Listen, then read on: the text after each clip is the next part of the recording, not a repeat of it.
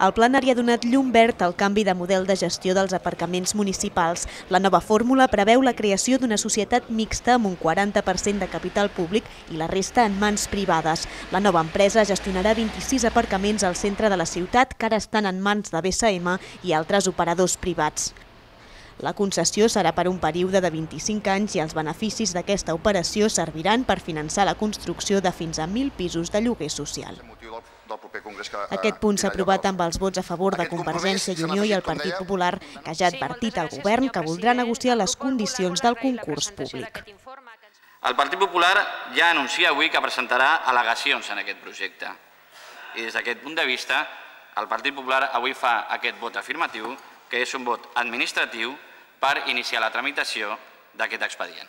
És evident que no estem davant d'una privatització sinó que el que estem és davant d'una concessió. Per què ens abstenim?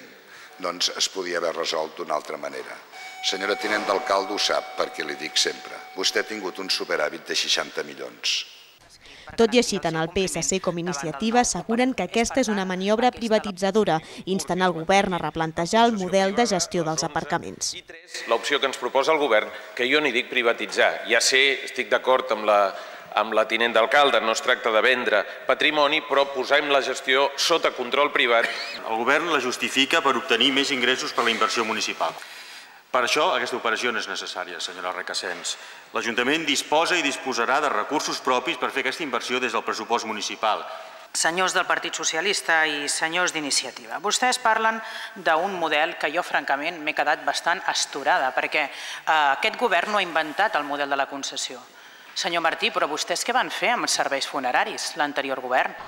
Pel que fa al deute que la Generalitat té amb el consistori, finalment es crearà la comissió de seguiment que reclamava l'oposició. I encara sobre un altre deute, el plenari ha acceptat la indemnització de més de 3 milions i mig d'euros que ofereix la Generalitat per la venda de Tabassa, la concessionària dels túnels de Vallvidrera, de la qual l'Ajuntament n'era accionista minoritari.